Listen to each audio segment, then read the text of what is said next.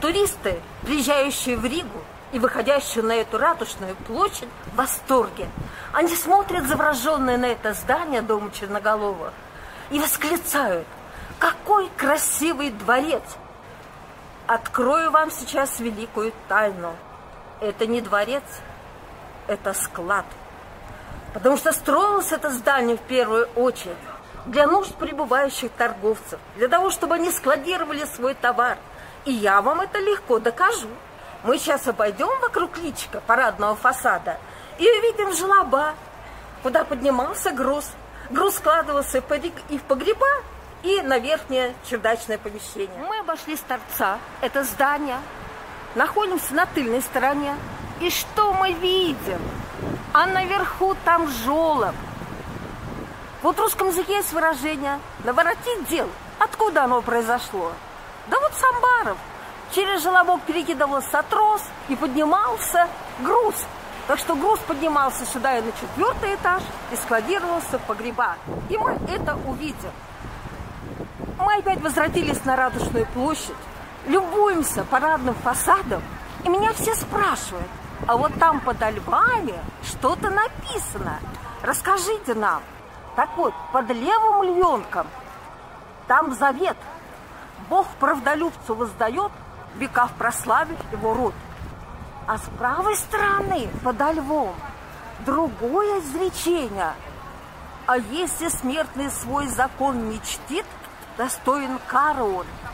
А сейчас мы зайдем внутрь и посмотрим, а стоило ли вообще туда заходить? А какое там убранство? Посмотрим, что я построила. А туристы удивляются, как то гид построила? А взгляните, на часами две даты. На часами. Первая дата, когда впервые появилось это здание на этой площади, новый дом. А справа над часами 1999 у нас была акция «Мы даем». Пять латов прорабу, он выделяет нам кирпич и говорит, туда положи. Я положила. Моя дочка, моя соседка, я знаю, где моих три кирпича. Какое я оставила наследство потомкам. Тут три моих кирпича, а там, в ратуше, в ключе, три моих ключа. Вот так. И вот мы открыли дверь. Перед нами перспектива. И что я хочу заметить? Когда я первый раз здесь оказалась и взглянула на эти стеклянные полы, я долго не могла на них наступить. И вот работник музея говорит, да смелее, смелее. Один метр квадратный выдерживает 150 человек. А кто-то услышал и спрашивает, а как это вы так посчитали? А вдруг 151, а вдруг 149? Как это вы так обнаружили? Так вот, такие прозрачные полы известны уже очень давно. Вот, например, когда царица Савская приехала к царю Соломону, то она увидела, что под стеклом плавают рыбки, и она так уважала царя, э, зауважала царя Соломона. Вот. А сейчас я недавно смотрела ролик про самые ужасные бассейны в мире. И представляете, на огромной высоте тоже имеются бассейны. Люди могут поплавать и взглянуть на улочки города своего. Вот. Часть великолепные вазы. Они стоят на вот постаментах таких тоже украшенных. И что мы видим под этими вазами? А там исторические погреба. Мы туда пойдем. Вот это склад, о котором я говорила.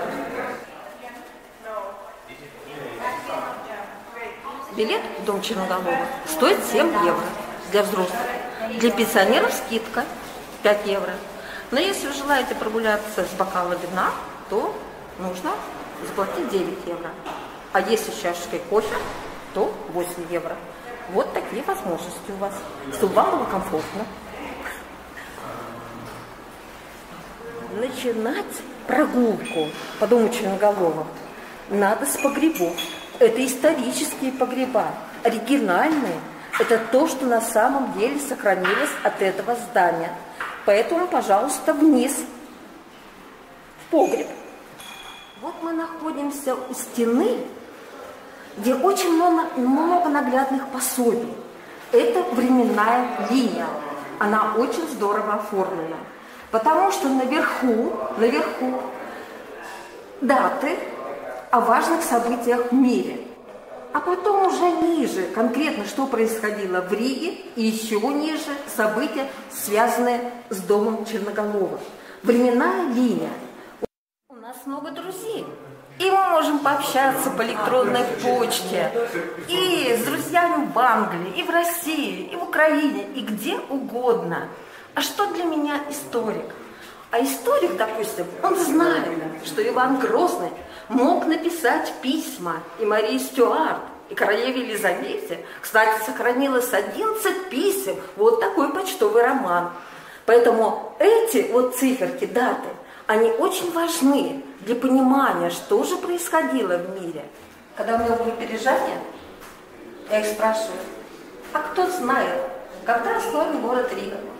И молчание, тишина. И когда город основан?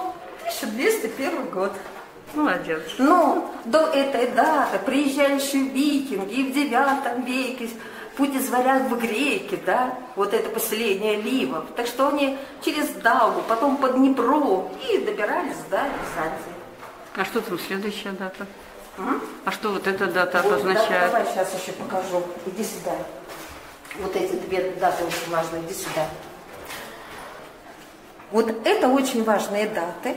В 1413 году в одном из погребков собрались черноголовые, то есть холостые купцы, и подумали, надо создавать общество, надо как-то объединяться. А эта дата рядышком, когда появился устав Шрапе, то есть вот закон совместно с, э, с Большой гильдией, каких правил они должны придерживаться, э, как торговать, в общем, все условия их деятельности. Вот эти астрономические часы приковывают все взгляды на фасаде. А вот тут я вам подробно расскажу, что же они означают. Вот наверху, видите маленькую окружность? Вот она. Это фаза Луны. Вот ночью посмотрите в окошечко и убедитесь, Луна точно в таком состоянии, как на циферблате на фасаде здания. Тут и картинка картонная. Это что фаза Луны. На большом циферблате стрелочка с оладушкой указывает месяц, стрелочка со снежиночкой дату, а внизу знаки гороскопа. И вот существует такая легенда, что мастер Матерс, когда выполнила эти часы, они были самые красивые в мире. Он был ослеплен, чтобы не повторялось такое чудо больше никогда нигде. Пушка 17 века. Мастер Ганс Майер. Вот эта пушка – это подарок городу дома Черноголовых. Пушка на лафете, посмотрите, как он красиво украшен, вот этот лафет, деревянная повозка, уже стены такие скобы, но, по-моему, эта пушка ни разу не выстрелила. Вот я вам расскажу забавный случай. Я провела экскурсию, через две недельки мне звонит мужчина, позвонил очень поздно, я, у меня уже был пейзажный эротический сон, и вот он мне задает вопрос. А вот я побывал в музее истории города Риги Мореходцева, вы посоветовали. Я не могу понять, какая же разница между мартирой, э, между там э, пушкой э, Ардой и Куртом. Я думаю, господи, я уже пребываю во сне, а ему надо разницу пушек выдавать в 11 часов ночи. Вот. Пушки наши назывались по-разному. Котенок, орел. В общем, названия разные. И даже бывало описание на вот стволе, на этом бронзовом чуде, да, описание, как пушка должна сражаться и каких она успехов достигнет.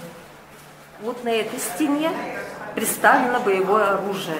Арбалеты, копье, пика, лук. И вот я всегда спрашиваю, вот как стрелять из лука и как стрелять из арбалета? Что нужно держать вертикально, а что горизонтально? Так покажи, где этот лук. Тут арбалет представлен, ну все знаете. Да? Вот. Лук, конечно, вертикально. Так покажи лук. Ну, видишь, нет лук.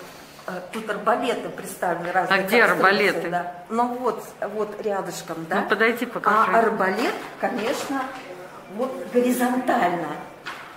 А легче из чего стрелять? Вот из лука лучников, вы знаете, во всех сказках, да, из арбалета. Ну, конечно, легче из арбалета, вставляется только там, значит, снаряд и все. А из лука можно несколько раз выстрелить, пока вы там справляетесь, вставляете в арбалет э, свое устройство зарядное. Так. А вот такой вопрос. Что длиннее, пика или копье? Вот я не знаю. Ты Вот давай а подойдем, ответь мне. подойдем. Вот это, это у нас короче, короче, значит, это пика, а копье намного длиннее. Ну, в общем-то, это мужская тема. Мужчина тут получает огромное удовольствие, просто кайф.